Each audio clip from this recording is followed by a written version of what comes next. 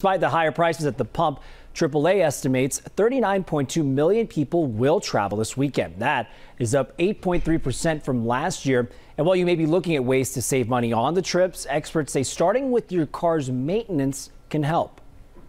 You know, you want to make sure that, you know, you have pro- proper tire inflation so that it's connecting with the road.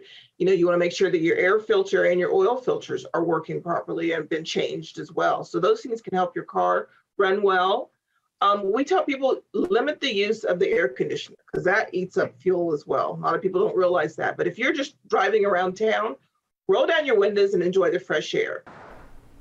Now, if you're planning to leave soon, USA Today reports the best times to beat the traffic are before 7 in the morning and after 9 p.m. The worst times are between noon and 7 p.m. Remember, though, to pack your patience anyway. Transportation analysts expect about a 50% uptick in normal travel time. Law enforcement officers across Arizona are also going to be out on the roads looking for DUI drivers on the weekend. They're asking people to remember either pick a designated driver or set up an Uber, Lyft, or taxi to take you home. This weekend, we reflect on military service members who made the ultimate sacrifice while serving.